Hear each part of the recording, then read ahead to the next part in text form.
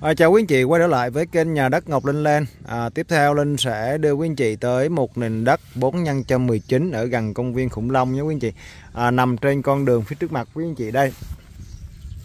Thì con đường này là con đường trục lớn là con đường đường trục dọc. À, Phía sau lưng của quý anh chị là đường TC5 quý anh chị. Ở Ngay ở phía trước này là con đường TC5 nè.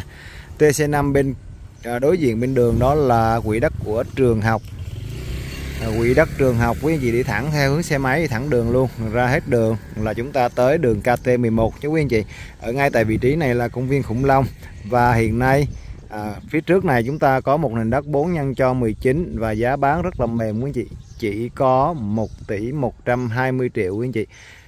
Phía bên kia là công viên Hoa Đăng. À, chỗ này quý anh chị nhìn qua quý anh chị có thể thấy được công viên ở bên đó.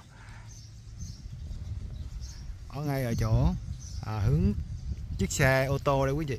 Ngay hướng chiếc xe ô tô đây bên này là công viên này đó thì vị trí của chúng ta cũng khá là đẹp. Thì quý anh chị có thể chọn à, sản phẩm này để mua ở cũng như à, mua đầu tư vì giá bán rất là rẻ. Nó khoảng tầm à, đâu đó khoảng tầm à, 14 triệu một mét 14 triệu một mét quý anh chị. À, vị trí cũng đẹp. Xung quanh nhà cửa cũng rất là nhiều. Ở đối diện với lại cái dãy nhà đây quý anh chị. Đó ra chỗ này là quý anh chị đi về hướng công viên này ở đây nhìn thấy công viên này đi qua à, hai à, một lốc đất là tới bỏ một lốc đất là tới. Khu này dân cư hiện nay cũng khá là đông nhé quý anh chị. Nền đất của chúng ta là 419 đang bán là 1 tỷ à, 2 1 tỷ 120 triệu quý anh chị.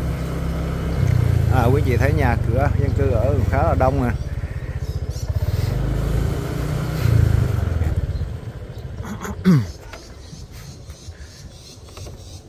Đây chúng ta có một nền đất ở ngay phía trước quý anh chị đây. Đây một nền đất ở ngay phía trước quý anh chị. Ờ, rất là thông thoáng quý anh chị.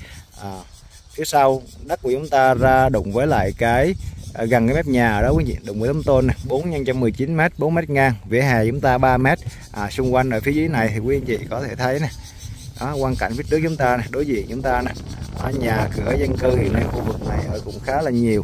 Và từ đây quý anh chị đi ra lại cái kênh KT11 hay là công viên thế giới tuổi thơ công viên khủng long đúng không chị? Hay là ra công viên hoa đăng bên này rất là gần.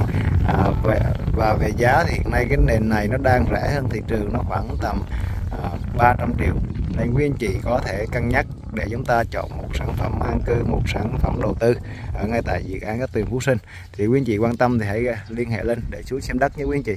Và hiện tại thì quý anh chị có thể theo dõi video từ đầu tới giờ.